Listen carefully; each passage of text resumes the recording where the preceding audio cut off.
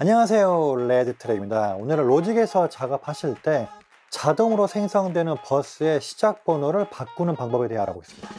자세한 내용은 영상을 통해 확인해 보세요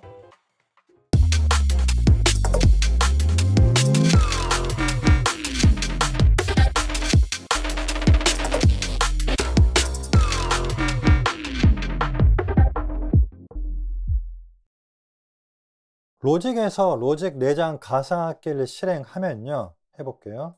자, 지금 보시는 것처럼 자동으로 insert와 send effect를 적용해줘요. 이게 필요할 때도 있는데 이게 필요 없을 때는 매번 이렇게 불러온 다음에 이렇게 하나씩 다 지우거나 아니면은 여기를 클릭해서 여기서 A를 누르고 또 이걸 누르고 이런 식으로 지우시는데 더 편리하게 할 수 있는 방법이 있습니다. 자, 어떻게 하냐면요. 악기를 불러올 때 여기 있죠. 얘를 누르신 다음에 두 번째 이 친구 있죠. 얘를 누릅니다. 자, 그럼 이런 창이 뜨는데 지금 여기서 불이 들어온 항목들은 제가 악기를 불러올 때 이렇게 다 불러온다는 뜻인 거고 그러면 이게 꺼져 있다. 예를 들어서 얘를 꺼볼게요. 얘를 끄면은 자, 보시는 것처럼 빠져 있죠. 이번엔 둘 다 꺼져 있을 때는 악기만 불러오게 됩니다. 그래서 로직 내장 가상악기를 불러올 때 얘네들이 필요 없다 그러시면 이렇게 다 끄시고 그게 아니라면 필요한 것만 이렇게 켜거나 이렇게 켜거나 이런 식으로 하시면 됩니다.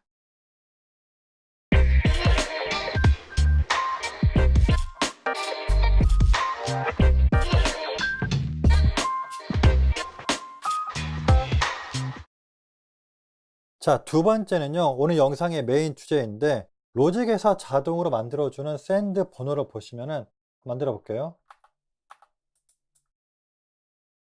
이런 식으로 2번, 3번부터 시작을 해요. 그런데 나는 작업을 할 때 이 앞부분의 번호를 내가 쓰고 싶어요.